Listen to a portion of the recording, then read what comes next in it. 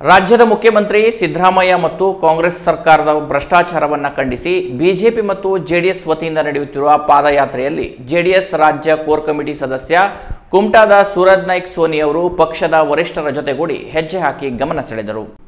ಕರ್ನಾಟಕದ ಮುಖ್ಯಮಂತ್ರಿ ಸಿದ್ದರಾಮಯ್ಯ ಮತ್ತು ಕಾಂಗ್ರೆಸ್ ಸರ್ಕಾರದ ಭ್ರಷ್ಟಾಚಾರವನ್ನು ವಿರೋಧಿಸಿ ಬಿಜೆಪಿ ಮತ್ತು ಜೆಡಿಎಸ್ ಮೈತ್ರಿಯಾಗಿ ನಡೆಸುತ್ತಿರುವ ಪಾದಯಾತ್ರೆ ಶನಿವಾರ ಕೊನೆಗೊಂಡಿದೆ.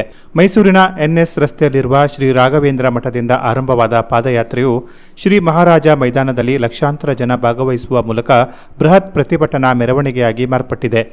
ಜೆಡಿಎಸ್ ರಾಜ್ಯಾಧ್ಯಕ್ಷ ಮತ್ತು ಮಾಜಿ ಮುಖ್ಯಮಂತ್ರಿ ಹಾಗೂ ಹಾಲಿ ಕೇಂದ್ರ ಸಚಿವ ಎಚ್ ಡಿ ಕುಮಾರಸ್ವಾಮಿ, ಜೆಡಿಎಸ್ ಯುವ ಮುಖಂಡ ನಿಖಿಲ್ ಕುಮಾರಸ್ವಾಮಿ ಅವರ ಜೊತೆಗೆ ಜೆಡಿಎಸ್ ರಾಜ್ಯ ಕೋರ್ ಕಮಿಟಿ ಸದಸ್ಯ ಕುಮಟಾದ ಸೂರಜ್ ಸೋನಿ ಅವರು ಹೆಜ್ಜೆ ಹಾಕುವ ಮೂಲಕ ಗಮನ ಸೆಳೆದರು.